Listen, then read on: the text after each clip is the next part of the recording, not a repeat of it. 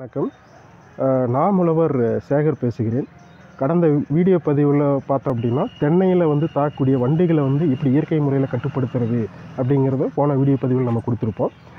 இந்த வீடியோ பதிவு எதுக்காக போடுறோம் அப்படின்னா காய்கறி பயிர்கள் அது காய்கறி பயிர்களாகட்டும் பழப்பயிர்களாகட்டும் அதில் வரக்கூடிய பூச்சிகளை எப்படி கட்டுப்படுத்துறது அப்படிங்கிறத இந்த வீடியோவில் நம்ம பார்க்குறோங்க.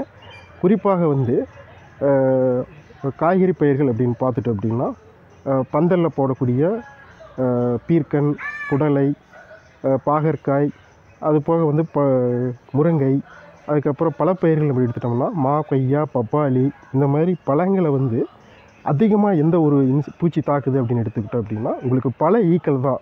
குறிப்பாக வந்து பல ஈக்கள்னால தான் உங்களுக்கு அதிக அளவு வந்து விளைச்சல் வந்து நம்மளுக்கு பாதிக்கப்படுதுங்க.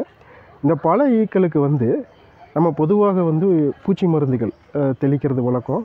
அதுக்காகிற செலவு பார்த்தோம்னா ரொம்ப கூடுதலாக இருக்குங்க. இது வந்து நம்மளுக்கு வந்து ஒரு மிகப்பெரிய சவாலாக இருக்குது இதை கட்டுப்படுத்துறது. இதற்கு மாற்றாக அப்படின்னு எடுத்துகிட்டு போகும்போது நம்ம இந்த இனக்கவர்ச்சி பொறியை வந்து யூஸ் பண்ணலாங்க. இந்த இனக்கவர்ச்சி பொறியை யூஸ் பண்ணுறப்ப இந்த பல ஈக்களை வந்து முழுமையாக வந்து நம்ம கட்டுப்படுத்தலாங்க. இந்த பல ஈக்கள் எந்த மாதிரி சேதாரத்தை ஏற்படுத்துது அப்படின்னா பிஞ்சிலேயே வந்து இந்த பல ஈக்கள் தாக்கிறதுனால என்ன ஆகுது அப்படின்னா உங்களுக்கு பிஞ்சு வந்து முதிர்ச்சி அடையாமலேயே உங்களுக்கு வந்து கொட்டி கொட்டிடுது கீழே. அதே மாதிரி அதையும் மீறி முதிர்ச்சி அடையும் பட்சத்தில் பார்த்தோன்னா உள்ள புழுக்கள் இருக்கிறனால நம்ம அதை வந்து யூஸ் பண்ண முடியறது இல்லைங்க. நம்ம வந்து சமையலுக்கு அதை யூஸ் பண்ண முடியறதில்ல. கணிசமான அளவு வந்து விளைச்சலை வந்து பாதிக்குது. ஸோ இன்றைக்கி வந்து இந்த இனக்கவர்ச்சி பொரியை பற்றி பார்க்கலாங்க. இதில் நீங்கள் பார்த்தீங்கன்னா கணிசமான அளவு வந்து பல ஈக்கள் விழுந்திருக்கிறத நீங்கள் பார்க்கலாம். இந்த இனக்கவர்ச்சி பொரியில் என்ன பண்ணுறோம் அப்படின்னா பொதுவாக வந்து ஆண் ஈக்களை வந்து கவர்ந்து வர வச்சு நம்ம அழிக்கிறோங்க. அதனால் என்ன ஆகுது அப்படின்னா பெண் ஈக்கள் மட்டும்தான் உங்களுக்கு வயல்வெளிகள் இருக்கும்.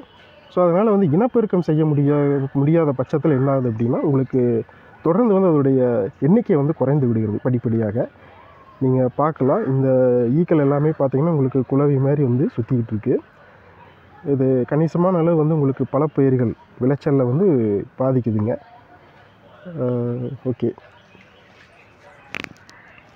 ஒரு ஏக்கருக்கு வந்து பார்த்தோம்னா ஐந்து பொறிகள் அப்படிங்கிற அளவில் நம்ம வந்து வச்சுட்டோம் அப்படின்னா முழுமையாக வந்து இந்த பல ஈக்களை வந்து கட்டுப்படுத்திடலாங்க. இந்த இனக்கவர்ச்சி பொறி தேவைப்படுபவர்கள் வந்து என்னிடம் தொடர்பு கொண்டு வாங்கிக்கலாங்க. நன்றி வணக்கம்.